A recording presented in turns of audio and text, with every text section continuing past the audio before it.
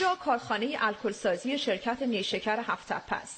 جایی که برای مبارزه با ویروس کرونا ظرفیت کارخانه برای تولید الکل تا 50 درصد افزایش یافته. ما روزانه برنامه‌مون ان برای 15 هزار لیتر در روز هست و سعی می‌کنیم که 15 هزار لیتر هم ان در سطح همین شهرستان و استان به مصرف مورد نیاز برسه ایشالله الکلی که از ملاس نیشکر تولید می شود ملاس پسماند شربت تولید شکر است که دیگه قدرت تبدیل شدن به شکر رو نداره. ولی هنوز هلوش 50 درصد قند داره.